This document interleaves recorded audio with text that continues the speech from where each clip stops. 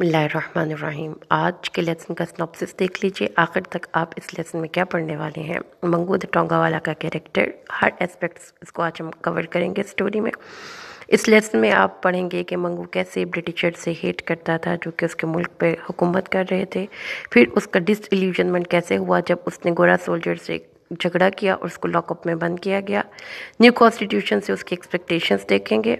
हम ये देखेंगे कि कैसे वो तमाम कॉमन मैन का रिप्रेजेंटेटिव है और आखिर में हम देखेंगे कि कैसे उसका लिस्म टूटा उस न्यू कॉन्स्टिट्यूशन की एक्सपेक्टेशंस का। तो आइए हम पढ़ते हैं मंगू द टोंगा वाला।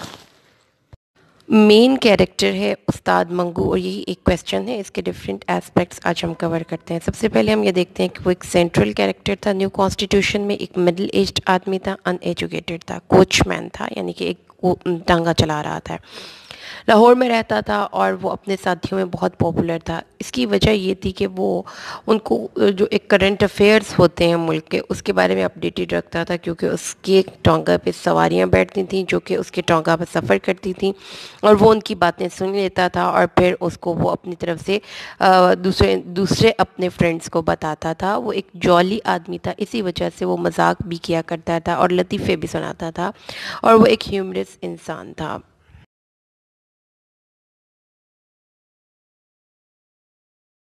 एक बहुत इंपॉर्टेंट क्वालिटी आप नोट करेंगे उस्ताद मंगू के कैरेक्टर की कि वो ये, कि वो ब्रिटिशर्स से बहुत नफ़रत करता था, जो गोरास थे। ये इसलिए था कि वो इंडियंस की मर्ज़ी के ख़िलाफ़ उन पर रूल कर रहे थे, और उनको गुलाम समझते थे, उनको एनिमल्स की तरह ट्रीट करते थे, वो उनके बेसिक राइट्स को एक्सप्लॉयट करते थे। आउटवर्डली वो ये शो करते थे कि वो मुल्क की नेटिव्स की वेलफेयर के लिए काम कर रहे हैं इनवर्डली वो उनकी डिस्ट्रॉय कर रहे थे। उनके रिसोर्सेस उनके नेचुरल रिसोर्सेस सब कॉन्टिनेंट के नेचुरल रिसोर्सेस को लूट रहे थे। In spite of living it और बावजूद इसके कि वो इस मुल्क को छोड़ जाएँ, गोरा रूलर्स ये प्लान कर रहे थे कि इस पर सेंचुरीज तक रूल करें। जिसके नतीजे के तौर पर वो उनसे शदीद नफ़रत करता था। नतीजे के तौर पर वो ब्रिटिश पीपल से हेट करते थे। मज़ीद पर आ, वो उनको बहुत कटिंग रिमार्क्स भी देते थे मतलब उनको उनको लैपर्स बोलते थे वाइट मंकीज बोलते थे माइस रॉटन कारकेसेस एट्सट्रा एट्सट्रा उनको गालियाँ निकालते थे कि ये गले सड़े हैं, ये कोड़ी हैं, ये चूहे हैं। Same was the case with उस्ताद मंगू उस्ताद मंगू भी आउटवर्डली उनको साहब बहादुर और गोरा साहब कहता था, लेकिन इनवर्डली वो उनको मोंकीज लेपर्स माइस कहता था। और ये आयरॉनिक स्टेटमेंट वो इसलिए देता था क्योंकि वो उस, उनसे नफ़रत करता था give vent to spent up emotions against them तो ये कटिंग रिमार्क्स उनके एक क्लियर प्रूफ है कि ये आयरनी है और हेटफुल इमोशंस हैं नेटिव लोगों के इंग्लिश पीपल के ख़िलाफ़।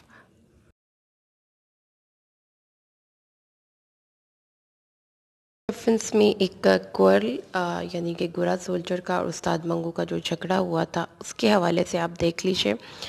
एक गोरा साहब मंगू के टांगा पे बैठा था और उसने उसको ऑर्डर किया था कि वो उसको डांसिंग गर्ल्स के बाज़ार में लेकर जाए।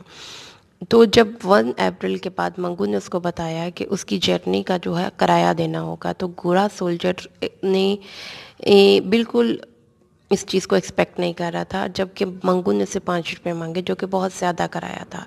इसके और उसके और इनफैक्ट वो उसको बिल्कुल भी किसी किस्म की कोई रियायत देना नहीं चाहता था, या उसको अपने टांगे पे बिठाना ही नहीं चाहता था, इसलिए उसने इतना ज़्यादा कराया, मांगा। वो, जबकि गोरा साहब ये समझते थे कि वो उसको बग़ैर कराए के लेकर जाए। इसी वजह से मंगू ने उस की जो अनएक्सपेक्टेड डिमांड ऑफ़ फेयर थी, उससे गोरा सोल्जर मंगू पर बहुत ज़्यादा चिल्लाया एंग्री मोड में। और मंगू ने उसकी तरफ़ शदीद नफ़रत से देखा। उसने अपने बाजू उठाकर उसकी चिन पर ज़ोर से हिट किया और कंटिन्यूसली उसको ऐसे मारता रहा मर्सीलेसली हती कि वो अरेस्ट करके लॉकअप में बंद कर दिया गया। और जब उसने कहा कि आज तो नया कानून है तो तो उसको पुलिस फोर्स ने बताया कि कोई नया कानून नहीं है फूल तुम्हारा मंगू को ये बताया गया कि उसका वही पुराना कानून है। ये था उसका एक झगड़ा गोरा साहब के साथ।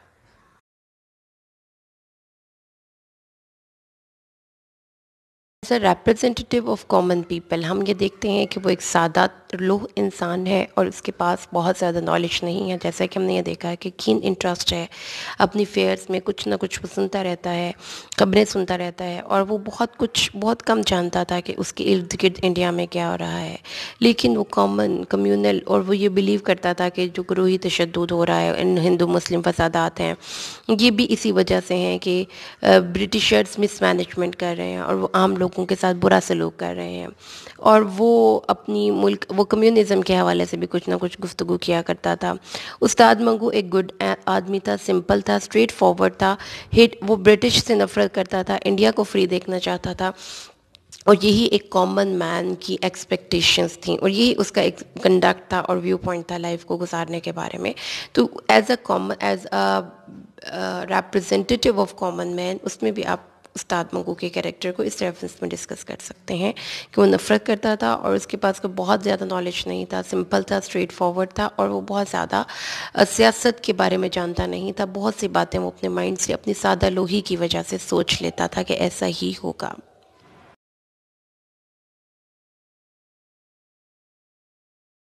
मंगू एक कोचमैन था और उसका अपने मुल्क के लिए बहुत मोहब्बत थी। नेशनल अफेयर्स में बहुत ज़्यादा ना सिर्फ़ वो इंटरेस्ट लिया करता था, बल्कि वो इंफॉर्मेशन भी जुडिशल प्रोसीडिंग्स वगैरह से जब उसकी टोंका में ये सवारियाँ बैठती थी तो उसको पता चलती थी। अब एक दफ़ा उसने अपने पैसेंजर से सुना कि न्यू कॉन्स्टिट्यूशन इन फोर्स होगा फ़र्स्ट अप्रैल 1935 से। तो यहाँ से जब उसने सुना तो बाकी उसने अपने माइंड से खुद ब खुद सोच लिया कि नया कानून क्या होगा। तो उसने उसके बारे में बहुत सी सादगी में, अपने दिमाग में, मोहब्बत में और सादगी में बहुत सी एक्सपेक्टेशंस की। उसकी एक्सपेक्टेशंस आज हम पढ़ते हैं। वो एक्सपेक्ट करता था कि तमाम की तमाम इम्प्लीमेंटेशन हो जाएँगी तो बहुत ज़्यादा चेंजिंग्स होंगी। उम्मीद रखता था कि सब कॉन्टिनेंट के लोग फ्री हो जाएँगे फॉरेन डोमिनेशन से। गोरा को उनके मुल्कों में वापस जाना पड़ेगा। नेटिव लोग अपनी ज़िंदगी इंडिपेंडेंटली और फ्रीली गुजार सकेंगे। और ये समझता था कि ब्रिटिशर्स उनको तजलील नहीं करेंगे, उनको ह्यूमिलिएट और डिग्रेड नहीं करेंगे। नेटिव पीपल ना सिर्फ़ उनको, उनके इक्वल राइट्स देंगे, बल्कि वो क्रूअल्टी के जो, मुजालिम का जो एक शिकार हुआ करते थे, अब वो भी ख़त्म हो जाएगा। और वो ये समझता था कि गोरा साहब और गोरा सोल्जर उसके मुल्क को छोड़कर चले जाएँगे। वो इतना होपफुल था इन तमाम कमिंग चेंजेस के बारे में कि वो डेस्परेटली फ़र्स्ट अप्रैल का इंतज़ार करता रहा रेस्टलेसली और डेस्परेटली और वो अपने दोस्तों से इसके बारे में भी गुफ्तु किया करता था, यानी कि ये उसका ख्याल था कि everything will be change all together right after the arrival of first of April everything would be change तो ये उसकी कुछ तो थी जो कि वो नए कानून से करता था।